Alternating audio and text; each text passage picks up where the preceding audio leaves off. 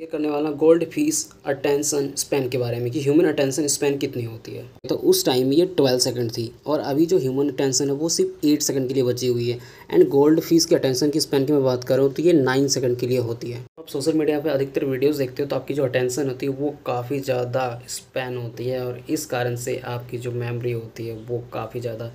आप उसे चेंज करते रहते हैं टाइम टू टाइम पर